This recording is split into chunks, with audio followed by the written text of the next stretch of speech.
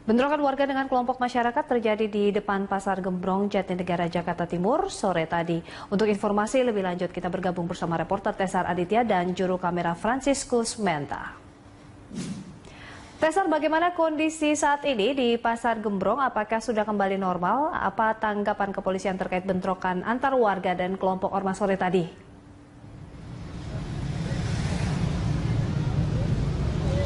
Ya Indri, untuk kondisi dan suasana di kawasan Pasar Gembrong Jati Negara Jakarta Timur untuk malam ini pasca bentrokan yang terjadi tadi siang.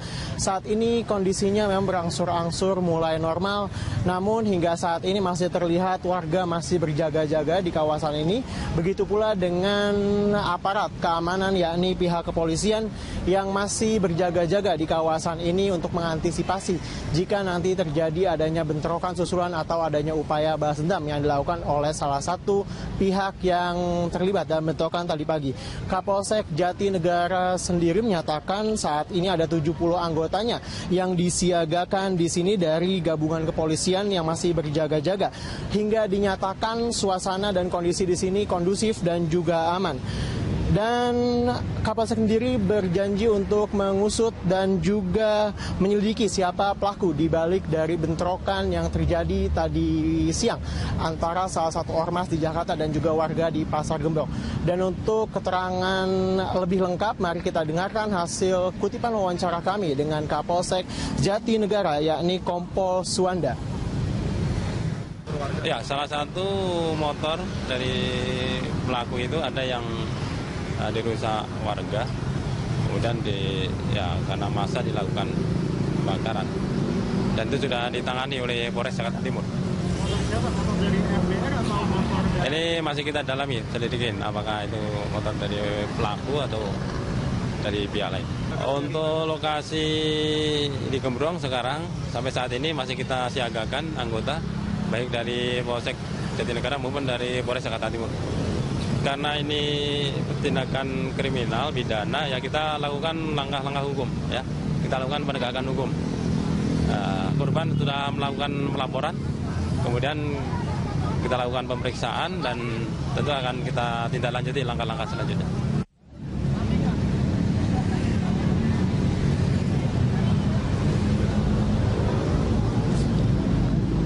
Bentrokan sendiri terjadi pada pukul 13.30 siang tadi.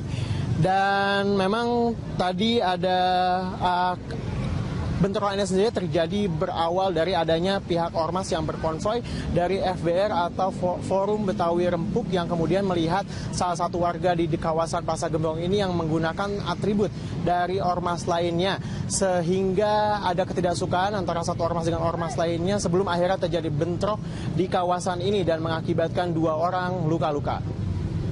Indri. Ya, Tesar, pasca bentrokan ini apakah sudah ada pertemuan dari perwakilan warga juga kelompok ormas yang terlibat bentrokan? Bagaimana kondisi korban saat ini mengingat ada warga setempat yang terkena sabetan senjata tajam? Ya, Indri, kami belum mendapatkan informasi apakah sudah ada pertemuan atau belum terkait dengan bentrokan tadi pagi antara dua pihak. Dan namun Kapolsek sendiri menghimbau agar kedua belah pihak dari satu ormas dan juga dari pihak warga ini sendiri untuk sama-sama menahan diri agar nantinya tidak terjadi bentrokan susulan.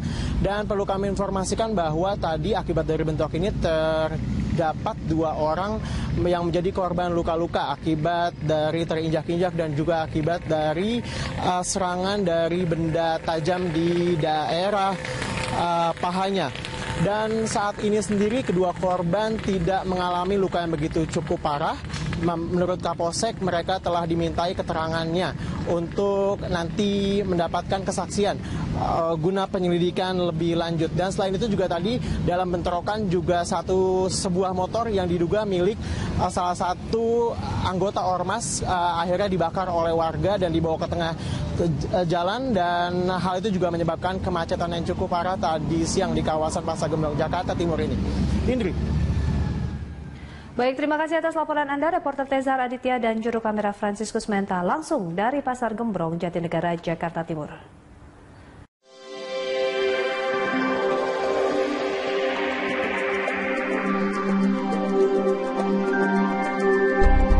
Di sejumlah wilayah di Indonesia menyebabkan banyak pedagang yang memutuskan untuk mogok berjualan. Harga daging sapi yang mencapai Rp120.000 per kilogram ini membuat pedagang rugi. Salah satunya terjadi di Pasar Palmerah, Jakarta. Untuk informasi selengkapnya kita sudah bergabung bersama reporter Metro TV Yanka Katria. Yanka, apakah hari ini pedagang sapi sudah mulai aktif berdagang kembali?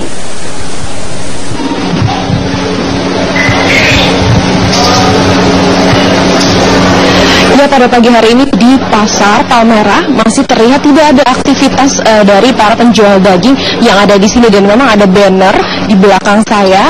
Ini tertulis dari tanggal 9 Agustus sampai dengan 12 Agustus pedagang daging sapi di pasar Palmerah masih akan melakukan mogok tidak berjualan dikarenakan harga daging yang masih terus meroket hingga saat ini mencapai 120.000 per kilogram. Dan saat ini saya akan mewawancara satu orang pedagang yang ada di sini untuk mengetahui seperti apa aktivitas uh, penjualan daging sapi yang terhenti saat ini. Selamat pagi, Pak. Ya, pagi. Dengan Bapak siapa? Pak Ato. Uh, Pak Ato bisa diceritakan nggak? Ini kan sudah mogok ya Pak ya. Uh, memang supply suplainya sendiri ada terhenti atau sulit seperti itu? Memang agak sulit, barangnya nggak ada. Jadi, jadi kita apa menaikkan harga sepihak ini. Jadi ke pasar mendingan libur daripada kita menanggung rugi terus ya berapa? Empat hari. Ini untuk sementara empat hari. Kalau misalnya nggak turun juga seterusnya mungkin. Nanti setelah tanggal 12 jika harganya belum kembali normal apakah sudah akan berjualan atau masih akan mogok? Ya kalau misalnya harganya selalu tinggi kita nombok terus mendingan libur. Kalau misalnya ada penurunan harga sedikit lah. Yang penting kita ada penurunan harga kita mulai lagi dari hari Kamis uh, mungkin Bapak punya langganan atau seperti masuk uh, pemasukan daging ke catering atau warung nasi seperti itu kan pasti ada dampaknya juga untuk mereka Pak terhentinya penjualan daging seperti ini. Bapak punya solusi sendiri tidak?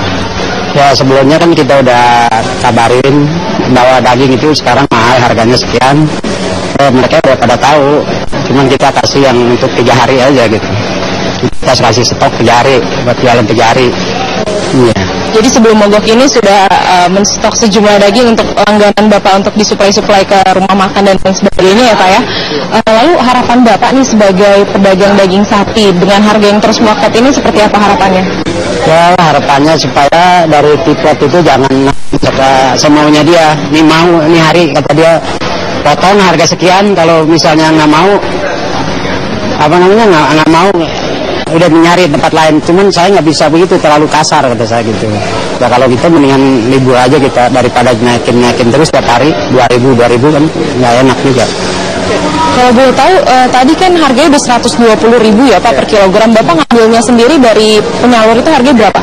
Itu 9 kalau karta 93 itu kemodalannya itu udah 12 lebih. Soalnya kan sekarang 12 limaan. Kalau kita jual 12 tuh minim jadi nggak nyampe modal. Berarti kalau Bapak jual 120 ribu itu Bapak menanggung kerugian yeah. juga ya Pak, jadi lebih baik uh, berhenti. Oke terima kasih Bapak atas waktunya untuk wawancara yeah. dengan kami pagi ini. Dan itulah tadi wawancara saya dengan salah satu pedagang daging sapi di Pasar Palmerah yang menurut banner yang ada di belakang saya masih akan berhenti aktivitas perdagangan hingga 12 Agustus 2015. Demikian kembali ke studio.